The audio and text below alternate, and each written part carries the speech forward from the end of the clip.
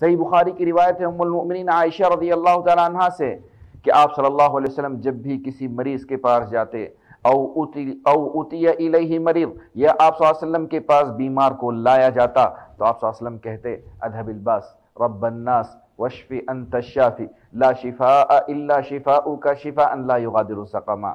अल्लाह, लोगों के परवरदिगार, बीमारी को दूर कर दे, शिफा अता कर दे। तेरे अलावा कोई शिफा देने वाला नहीं।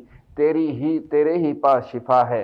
ऐसी शिफा दे दे जो हर किस्म की बीमारी को दूर कर दे।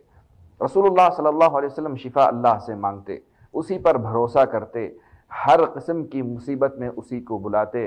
लिहाजा, अगर आप बीमार हों तो अल्लाह से शिफा मांगे। अल्लाह से शिफा मांगें और बीमारी में सब्र करें। यकीनन सब्र का फल मीठा होता है।